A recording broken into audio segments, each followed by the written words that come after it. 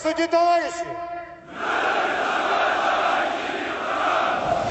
На марше бронеавтомобили «Тигр» и «Тайфун» с различными боевыми модулями дистанционного управления, которые позволяют решать служебно-боевые задачи в любых сложных условиях, обстановки и местности.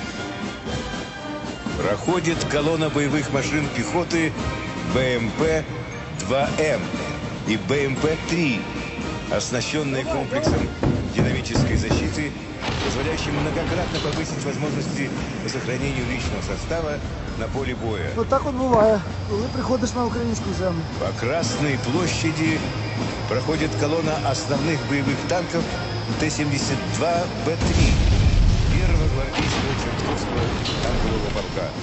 Командует парадным расчетом капитан Ренат Графиков.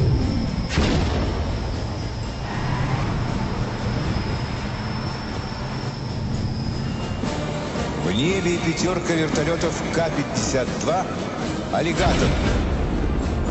ВВС России. Пилотажная группа «Беркуты». На вертолетах Ми-28Н «Ночной охотник». Гады, блядь. Следующий строй представлен четверкой модернизированных фронтовых бомбардировщиков Су-24М.